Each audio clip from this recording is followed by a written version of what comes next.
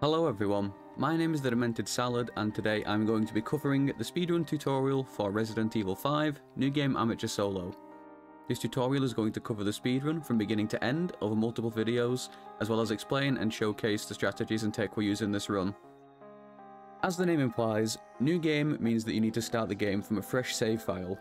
However, Resident Evil 5 doesn't have a native New Game option, and as a result of this, whenever you want to do a New Game run, you will need to delete your current save file and create a new one.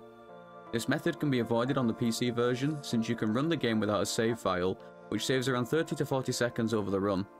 This can also be used for co-op runs, but the downside of this method is that if your game crashes or you disconnect, there is no save to go back to, and you will have to restart your run.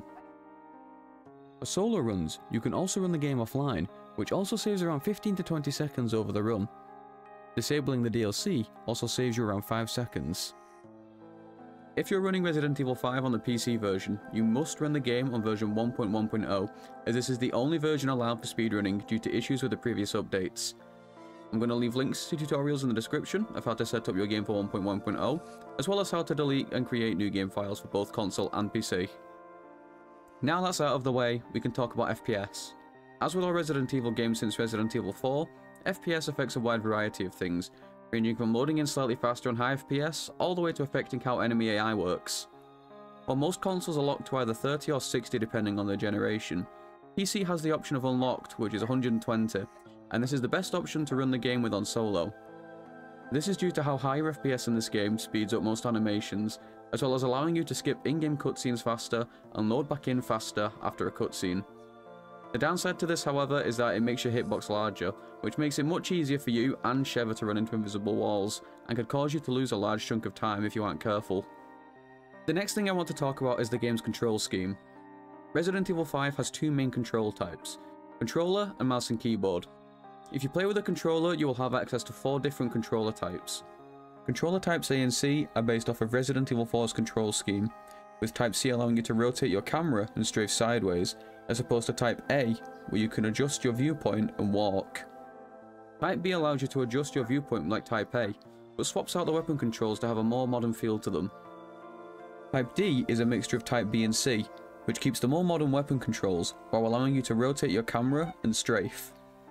While each of the controller types offer different pros and cons, they are mainly just down to preference, and any time save or loss is minimal. On PC, Playing with either controller or mouse and keyboard is more or less up to your preference. However, both control schemes have pros and cons that need to be taken into account when running. The pros of a controller compared to keyboard and mouse are that firstly, controllers allow for more optimal menuing, both in-game and in shops. This is due to the controller having a better layout than keyboard and mouse, which while allowing you to use both your mouse and keyboard for menuing, it is much easier to mess up menuing with the mouse, and the layout of a keyboard makes it difficult to menu optimally. Secondly, controller allows for a specific tech involving semi-automatic sniper rifles, where you can reload the sniper rifle while shooting it, therefore skipping the reload animation while allowing you to keep shooting. The downsides of controller compared to keyboard and mouse are firstly that you get no reticle when throwing grenades on a controller, making a specific tech harder to achieve. Secondly, depending on your controller scheme, your turning speed is bound to your left analog stick, and rotating it too far can cause you to stand still on the spot, whereas keyboard and mouse allows for seamless turning at all times. Thirdly, keyboard allows you to hold more weapons at once, since your item slots are 1 to 9 on keyboard, whereas on controller they are up, down, left and right on the D-pad. Finally, turning cranks is faster on keyboard, but only if you spam A and D very fast, and if your rhythm is slightly off, it will be slower than controller. Sheva also turns cranks faster when your control scheme is on keyboard and mouse, so even if you are using controller, it is advised to swap while Sheva turns cranks and valves. There are two different types of rotation tech in Resident Evil 5, Controller types A and B allow you to use a rotation tech called C-turning. This is done by using the right analog stick to adjust your viewpoint to face either left or right, and then quickly tapping the aim button with either a weapon or grenade. This will rotate you in the desired direction, and can be spammed to rotate faster. The other tech is one of the game's core mechanics, which is quick turning. Quick turning allows you to do a quick 180 degree turn, which can be very useful in a lot of places during the run.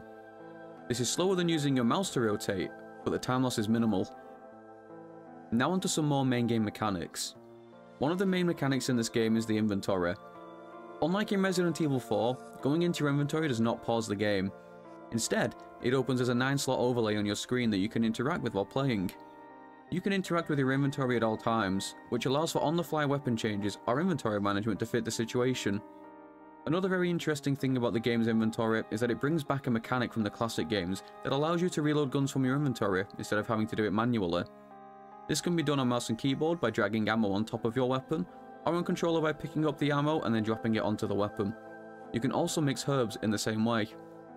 In this game, certain interactions give you iframes, and you can interact with your inventory while doing these for no time loss. For instance, you can interact with your inventory while doing things like climbing ladders, using QTEs on an enemy, or doing things like jumping over walls and kicking doors. This game also offers a mechanic called Quick Rocket Swap. This is done by aiming in any weapon other than the rocket launcher and then swapping to the rocket. This automatically pulls up the rocket launcher and aims it in, whereas normally, if you were to equip a rocket launcher, there is an animation of you readying it up before aiming in. I'm also going to use this opportunity to talk about a very important mechanic that's been part of Resident Evil since 4, and this is DA. DA stands for Difficulty Adjustment, and the basic premise behind it is that the better you play, the harder the game gets, and the worse you play, the easier the game gets. How DA works slightly changes throughout most of the Resident Evil games, however, it is possible to manipulate it. This game's DA ranges from 0 to 10,999, depending on what difficulty you're on and there are several different DA ranks on each difficulty that you can achieve, except for on Professional, where you are locked at 10,999. However, the main DA ranks that you will be playing in are 6,000 to 8,249 and 8,250 to 10,999.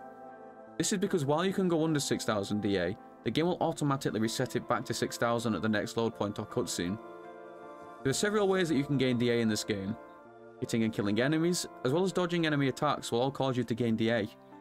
Some sections of the game will also cause you to gain a large chunk of DA when a boss spawns. You can lose DA by taking damage, going into dying, and actually dying. And this is done in specific areas throughout the run to achieve specific tech. In a lot of the Resident Evil games, we are able to view our DA via an SRT. An SRT is a speedrunning tool that allows us to have an overlay of the game which shows us different things such as our money, our HP, enemy HP, and our DA. I'm going to be leaving a link in the description to the GitHub page where you will find the SRT.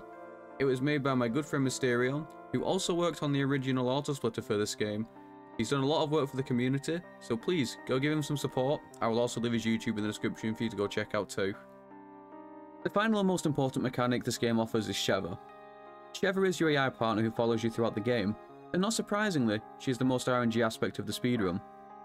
In single player, Sheva can be given two different commands to control her with. Cover causes Sheva to follow the player, and she'll try to stay close to you. And attack causes her to be more aggressive and pick up items more often. Most of the time you want to keep Sheva in cover, so she will follow you. But there are several places in the run where it's important for her to be on attack. Like Resident Evil 4, this game uses tank controls, and because of this, Sheva's movement is heavily impaired, for the most part, Sheva can slightly turn while running, but almost any sharp corner causes her to stand still and rotate before she can start moving again. This paired with how badly her pathing is coded can cause some interesting situations where instead of running in a straight line to her objective, she'll take the scenic route, which often involves her stopping to turn multiple times. You can however manipulate Sheva to a degree where she will follow you. One way you can do this is while running. Slow down slightly to where Sheva is more or less next to you and then continue running. This for some reason causes her pathing to be much more accurate, and she will follow you much closer. This helps with a lot of her RNG, and if done correctly, can speed up the run significantly. And with that, I believe that sums up the first part of this tutorial. Thank you guys for watching, I appreciate you all. If you guys enjoyed the video and found it informative, please make sure you hit the subscribe button down below. If you're interested, you can also follow me on my Twitch channel, which will also be in the description. I do speedruns and variety games on there. If I did miss anything, I'll probably cover it in another video because there is a lot to this game and it's easy to miss things. In the next video, we will be covering the first chapter of the game, so I hope to see you there.